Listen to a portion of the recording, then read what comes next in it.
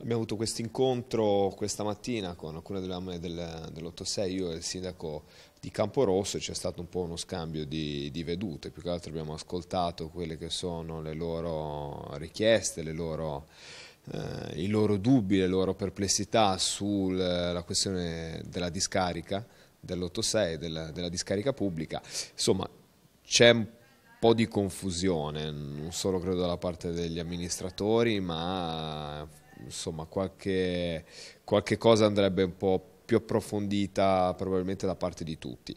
Eh, devo dire che ci troviamo in questo, questo momento a un bivio, cioè, eh, va deciso insomma, se andare avanti con i lavori o meno.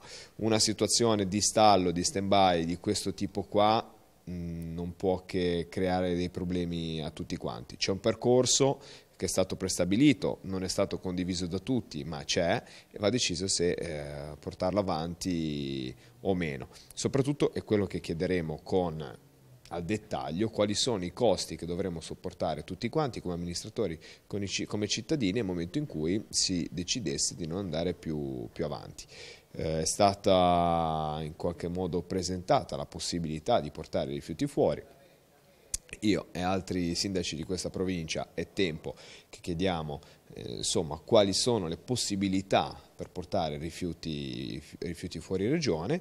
Eh, io mi auguro che oggi la Regione sia in grado di darci qualche possibilità in più. Vediamo se sarà fattibile, se non sarà fattibile, però insomma dobbiamo cercare di chiudere in modo responsabile il più in fretta possibile perché il rischio vero è poi nel corso di qualche mese di trovarsi in situazione di emergenza vera e propria. Quindi, le cose vanno fatte, bisogna capire, ascoltare tutti, però poi le decisioni vanno prese nell'ottica di andare verso l'interesse di tutta la provincia di Imperia.